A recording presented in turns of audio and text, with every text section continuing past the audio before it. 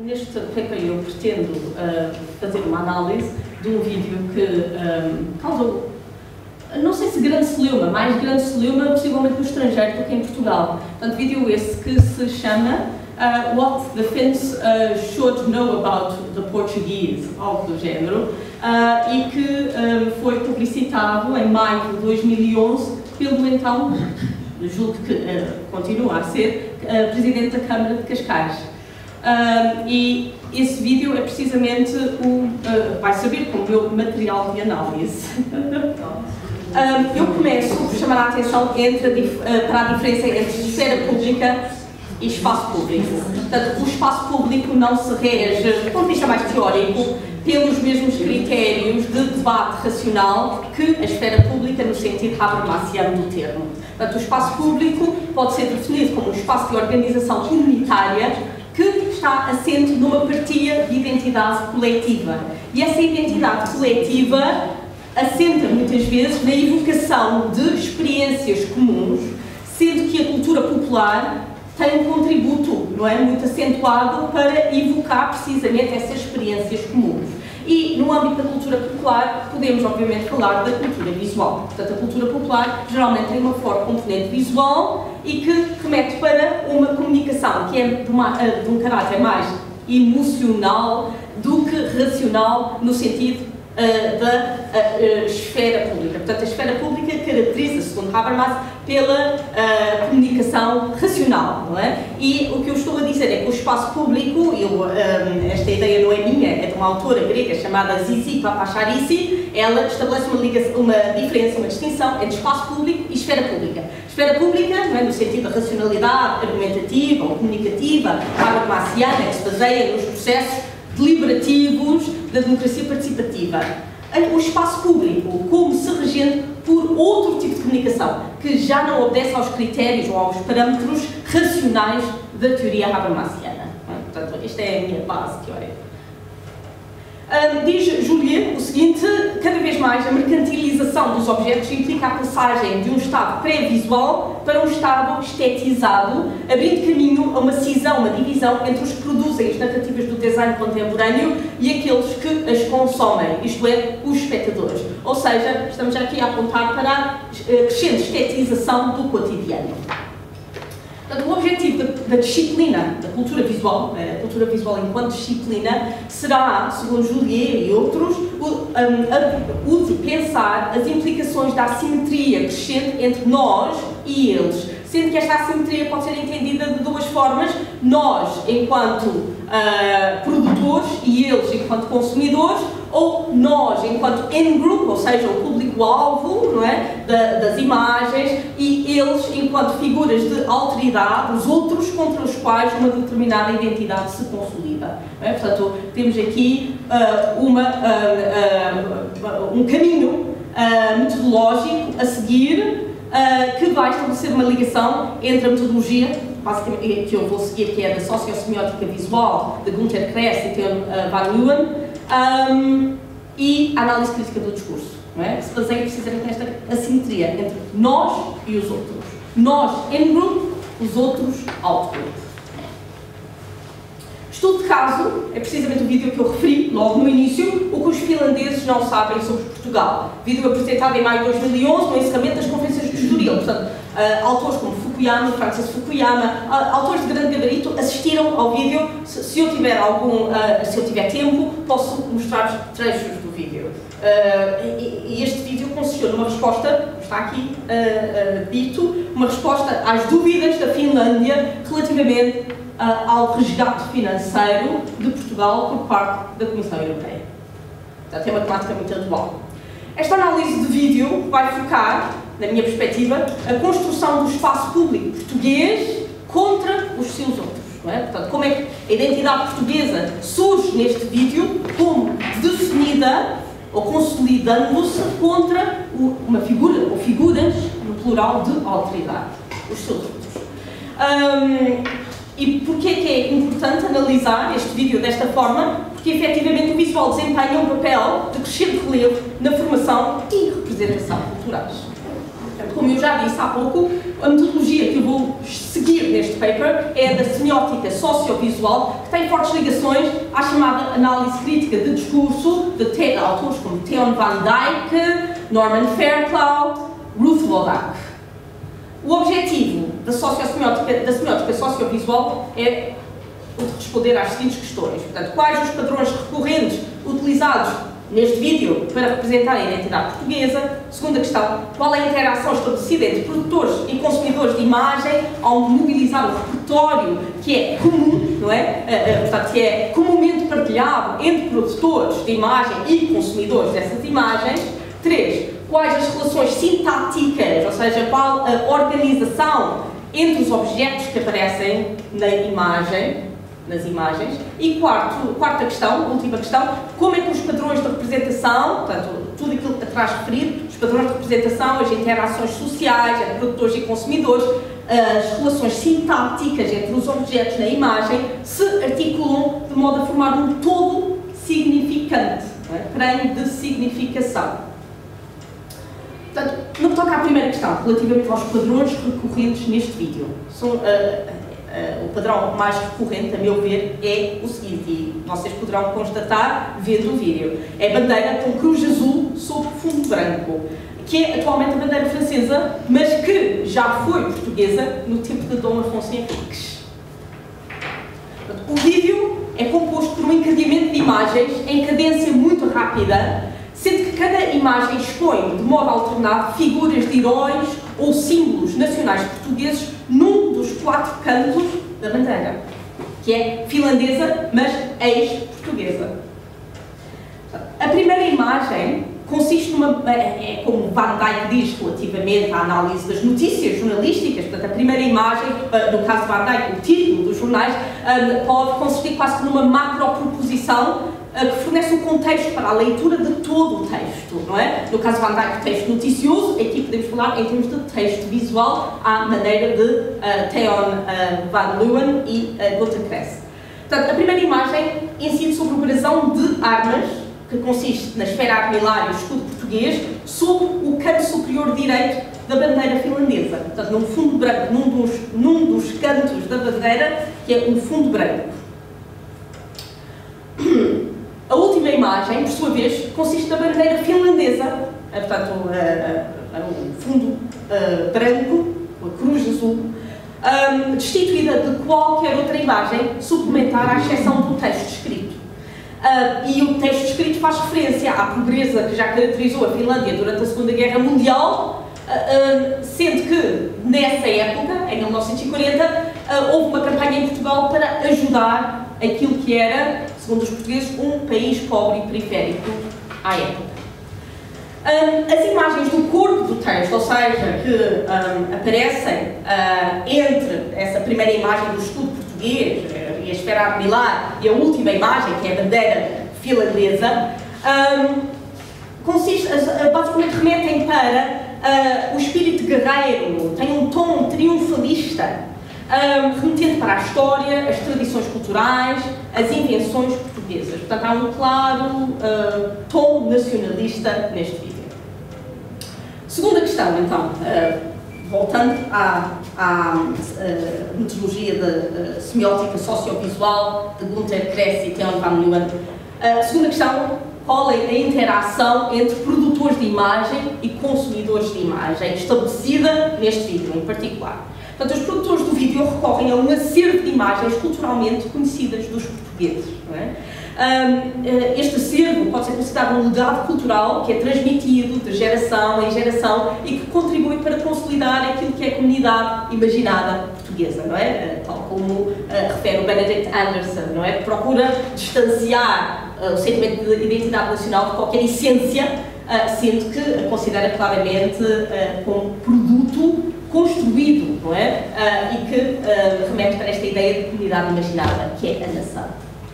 Uh, o, o acervo cultural ou o repertório cultural é partilhado tanto pelos produtores da imagem e pelos consumidores. sendo que as imagens históricas que aparecem em cada um dos cantos da bandeira, de forma alternada, são muito semelhantes às dos livros escolares do Antigo Regime, curiosamente. Portanto, pensem em gravuras, vão ver as imagens, gravuras quixotescas de guerreiros e reis de espada e punho, imagens de armas de guerra, é? canhões, espingardas, portanto, tudo que conote efetivamente este espírito colonial e guerreiro português. Um, voltando a dois autores que trabalham muito a, socio, a, a, a semiótica sociovisual, um, Jewett e Oyana, as imagens, dizem eles, dispõem de variados recursos para criar determinadas relações entre, o espectador e o mundo mostrado no espaço da representação. É desta forma que as imagens interagem com os, com os espectadores e sugerem as atitudes a tomar face àquilo que é representado, fim de citação. Portanto, na sequência desta citação, eu pergunto o seguinte: como é que as figuras retratadas são posicionadas face ao espectador? Como é que elas se posicionam face a quem está a ver o vídeo. Portanto, na maior parte do vídeo é a bandeira de Afonso Henriques, que é agora finlandesa, que aparece em grande plano. Temos, estamos, uh, somos confrontados com uh, uh, esta bandeira em grande plano.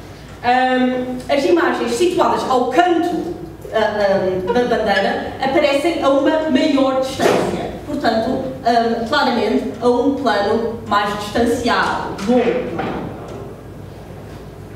A atenção do espectador é dirigida para o enquadramento fornecido pela Cruz Azul, que em plano aproximado, em grande plano, se, se assemelha ao mar. Uh, obviamente que todos nós, não é? Uh, devido ao acervo cultural que partilhamos enquanto uh, comunidade anónima que integra esta comunidade imaginada que é Portugal, consegue compreender as conotações dessa cruz azul que se assemelha ao mar. Portanto, o mar enquanto simbólico de todo um destino uh, messiânico português, do ponto de vista colonial. Portanto, Portugal, uh, atendendo a essa ênfase, a tónica colocada sobre o mar, surge como país com vocação marítima, dado o antagonismo histórico com a Espanha, aberto ao outro, um país aberto ao outro, um país tolerante. Vão ver no vídeo que há imensas referências à tolerância portuguesa, um, um, país com uma longa história vitoriosa, triunfante, além-mar, um país dinâmico e inventivo e um país que é exportador de ideias e de produtos que acabam por ser apropriados pelos outros indevidamente, claro, porque não sabemos ah, comercializar os produtos devidamente. É? Está patente uh, no vídeo. há uma determinada altura em que se diz que Portugal é o país que tem menos patentes da Europa, na Europa, no mundo, Terceira questão, então, voltando à metodologia da, da semiótica sociovisual de Cressy Van. As imagens, portanto, as, quais as relações sintáticas entre os objetos expostos nas imagens, não é? Portanto, de que modo é que estão organizados uh, nesse vídeo. Portanto, as imagens aparecem em geral num dos quatro cantos da bandeira de modo alternado, como eu já disse. Como eu já disse. A maior parte destas imagens ocupa um canto inteiro da bandeira, portanto não deixa, não há, uh, portanto o fundo branco do, de cada canto não é visível, à exceção obviamente que há exceções, mas uma exceção em particular é gritante, que é a do escudo português, é? que aparece efetivamente sob o uh, fundo branco modo sobressair. Mas o azul da cruz da bandeira acaba por emoldurar as imagens em geral, em sentido genérico. Um, a semelhança, então, mais uma vez, ao contorno do mar que ladeia a figura representada. Portanto, fazendo uma leitura conotativa, voltando à questão do mar, a identificação da imagem representada em cada um dos quatro cantos da bandeira é uh, claramente associada a Portugal. Portugal, né, que é um país à beira-mar plantado. Uh, portanto, um país geograficamente ladeado pelo mar, que simboliza a missão cultural portuguesa no mundo. Uh, voltando então à última questão, quarta e última questão, uh, no que toca à semiótica sociovisual de Cressy Van Leeuwen, de que modo é que uh, as questões anteriormente colocadas, não é? incidindo sobre os padrões recorrentes de representação, a interação social entre produtores e consumidores da imagem, as relações sintáticas uh, entre os objetos na imagem, de que modo é que se articulam entre si um, e eu julgo que a resposta é a seguinte. há uma clara tentativa de criar uma comunidade imaginada nacional que seja facilmente reconhecida e aceite pelo in-group. Portanto, o in-group, os espectadores que, que veem, que, que, que são o público-alvo desse vídeo. Portanto, o vídeo é efetivamente reminiscente do ideário associado ao Estado Novo, curiosamente. Uh, ressuscitando o fantasma da unicidade de Portugal com territórios que são geograficamente distantes. Não é? E isto é visível na assimilação do outro pela bandeira portuguesa original. O outro aqui, Finlândia, não é? Uh, pela bandeira original, uh, ori originalmente portuguesa, que era a bandeira portuguesa no tempo de Dom Afonso Henriques. em termos da sequência de imagens, a, sequência temática é a seguinte Portanto, o brasão de armas português, Afonso Henriques com a espada em Cristo, o mapa da Europa, uma breve resenha da história da antiguidade portuguesa, com fenícios, gregos, romanos, vândalos, suevos, visigodos, passando pelos árabes.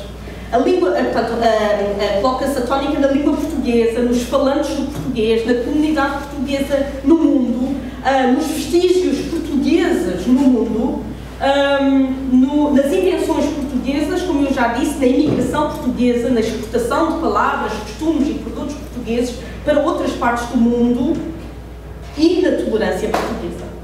A determinada altura do vídeo, as imagens de grandes feitos portugueses no além-mar começam a intercalar com imagens da apregoada tolerância portuguesa. Ou seja, a incorporação da bandeira japonesa pela bandeira de Afonso Henriques seguem-se imagens de grilhões e da forca. Enquanto os grilhões aludem à abolição da escravatura por parte de Portugal em 1751, não é? antes dos Estados Unidos da América, a forca conota o avanço de Portugal em relação aos seus congêneres europeus na abolição da pena de morte, por exemplo. O aparecimento de um porco, o animal, o porco, num canto superior esquerdo uh, da bandeira simboliza a intolerância uh, de culturas que nada têm a ver com a singularidade portuguesa. Singularidade essa que se caracteriza pelos brandos costumes. Se algumas culturas não aceitam comer carne de porco, Portugal é o oposto. Tendo chegado mesmo a inventar, como dizem no vídeo, um prato com as próprias vistas do porco. Um país assim só pode mesmo estar nos, nos antípodas da cultura islâmica, essa sim que difere radicalmente da matriz europeia. Não é, não é Portugal que difere radicalmente da matriz europeia, é a cultura islâmica. Não é? Porquê que aparece o, o porco enquanto animal na bandeira, como vão ver no vídeo daqui a pouco? E é precisamente disso que importa falar, pois Portugal, um dos países mais antigos da Europa, espelha intrinsecamente os valores da Europa, marcados pela tolerância e pelo progresso civilizacional. Portanto, essa é a tónica do vídeo. Desde, desta justa posição de imagens temáticas, uh, temáticas, realça-se uma fotografia de um casino em Cascais que uh, serviu de fonte de inspiração à obra Casino Royal de Ian Fleming, uh, autor de James Bond, seguida por uma imagem de Aristides de Sousa Mendes, embaixador português que terá salvo mais judeus durante a Segunda Guerra Mundial do que Oscar Schindler. um, de Oscar Schindler regressa-se ao Tratado de Tordesilhas, que dividiu o mundo entre Portugal e Espanha no século XV, com a famosa gravura que representa a expansão colonial ibérica, seguida de uma imagem de uma brasileira a dançar samba, alusiva à metade do mundo como Portugal ficou, foi a melhor parte. uh, o Brasil, claro. Portanto, efetivamente, a tónica colocada na grandeza do passado português serve como pano de fundo para se interpretar as imagens do presente, grande parte das quais se centra em temáticas desportivas ou em inovações tecnológicas. As diversas imagens alusivas à realeza portuguesa são curiosas para um país que se orgulha de ser uma república relativamente antiga. Uh, no entanto, essas imagens da realeza são simbólicas de um passado grandioso e nobre que se manifesta nos feitos atuais, essencialmente esportivos, não é? O grande realce para Cristianos Ronaldo e, e, e, um, ah, e os Ézios e por aí fora. De uma nação com um destino messiânico à vista. Aliás, o voluntarismo messiânico é visível nas últimas imagens que mostra portugueses a manifestarem-se a favor da libertação de Timor em 1999, o mesmo povo que em 1940 tinha participado numa mega campanha de solidariedade para ajudar a Finlândia, um país pobre uh, à época. Ou seja, uh, resumindo esta parte aqui, não é justo que um povo que surge em massa como defensor dos direitos humanos timorenses, uh, num enquadramento iluminista e ocidental, seja considerado como europeus de segunda, é? como, um, como um europeu de segunda por parte de outro país europeu, que é a Finlândia. O paralelismo entre as duas campanhas, a favor de Timor por um lado e a favor da Finlândia por outro lado, só é compreensível à luz de uma meta-narrativa de ideais civilizacionais iluministas e europeus, pois efetivamente nada há mais a unir os dois contextos a não ser este laço emocional, não é? De compaixão cristã. Ok, portanto, qual é o in-group deste, uh, deste vídeo? Uh, é constituído pelo cidadão comum português, que pode ser adepto dos valores do 25 de Abril, ao mesmo tempo que é sensível à retórica nacionalista do vídeo. Portanto, e como é que é uh, sensível à retórica nacionalista? No sentido é que, claramente, é um cidadão que, é, que está ofendido pela possibilidade da Finlândia vetar o plano de resgate uh, financeiro da Comissão Europeia a Portugal. Portanto, este exemplo demonstra o exemplo do vídeo demonstra o distanciamento do espaço público relativamente ao debate racional da esfera pública. Foi assim que eu comecei a apresentação, é? chamando a atenção para a diferença entre a esfera pública habermasiana e do que será o espaço público hoje em dia tão dominado pela cultura de massas, a cultura popular, que se rege por um outro tipo de comunicação não racional. Não vou dizer irracional, mas não racional segundo os parâmetros argumentativos da Habermas. Portanto, um, este espaço público reaviva o repertório emotivo que tem a ver com a memória coletiva uh, e esse, esse, espaço público é mobilizado pelos produtores de imagem ao mobilizarem uh, o acervo cultural que todos nós partilhamos enquanto portugueses, é? enquanto habitantes desta, ou parte integrante desta comunidade imaginada. Um, eu uh, já percebi que são com pressa, não é? Uh, não? Ok. Portanto, assinala-se assim, eu diria, um, eu estou quase a terminar, assinala-se assim o retorno à meta-narrativa salazarista que definia Portugal como se estendendo do Minho até Timor, independentemente de diferenças raciais. Não será por acaso que se realça o facto da única estátua erguida para homenagear o futebolista ter sido dedicada a um negro, Eusébio. A ênfase na tolerância portuguesa, repetida mu muitas vezes ao longo do vídeo, faz reavivar todo um discurso colonial de cariz luso-tropicalista que se defendia num contexto global crescentemente hostil ao colonialismo, nos anos 60, com base na ideia de que o imperialismo português não era racista nem exclusionista. Efetivamente, uma análise das imagens do vídeo aponta para o seu caráter imperialista, eu diria, acentuado ainda mais pelo texto escrito. Vejam aqui estou a debruçar mais sobre as imagens. Ok, portanto, passando então para a conclusão, hum, eu julgo que uh, conseguimos ou conseguiremos compreender melhor a tónica do vídeo recorrendo um, às ideias gramscianas, ou à ideia gramsciana da hegemonia, não é? E a apresentação anterior também tocou nesta questão há pouco, um, portanto, a hegemonia enquanto prática permanente de negociação e incorporação de significados no seio do sistema dominante. Uh, a transmissão de significados que sobrevivem depende, efetivamente, de meios culturais persuasivos.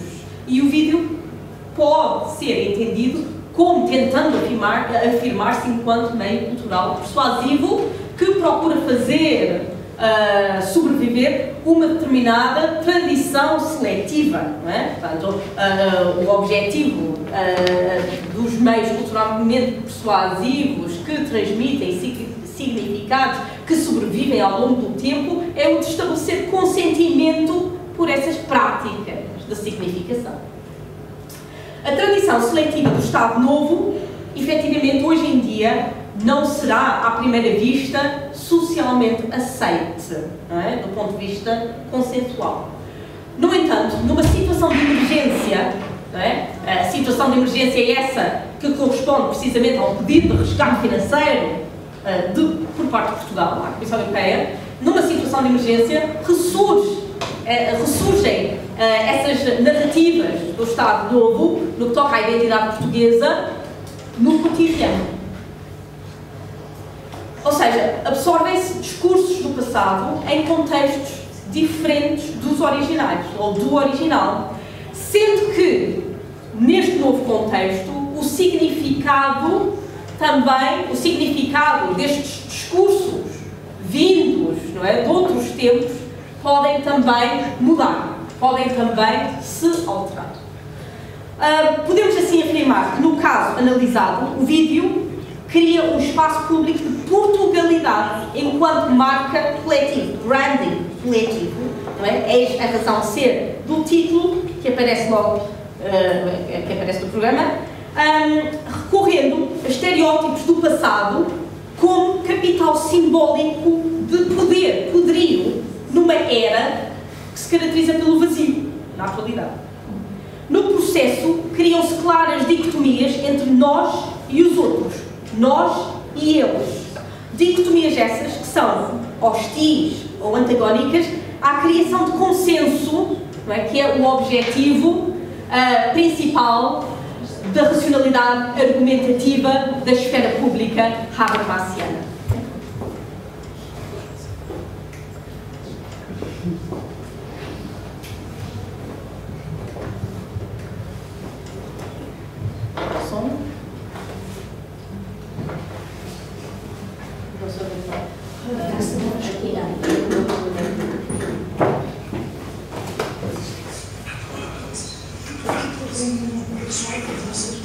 Estou a ver, portanto, aquilo que eu disse sobre a cruz branca, não é? Peço desculpa. A cruz branca, cruz azul, cruz azul se assemelha ao mar, não é? E que tem, obviamente, o seu cultural. Todos nós partilhamos.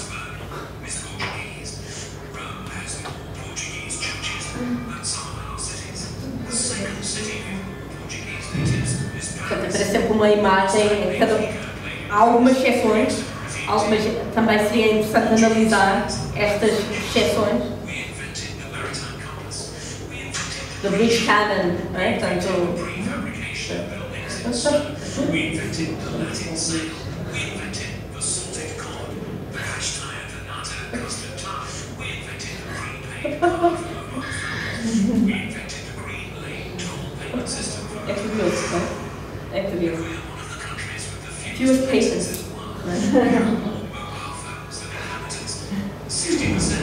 Finlandesa.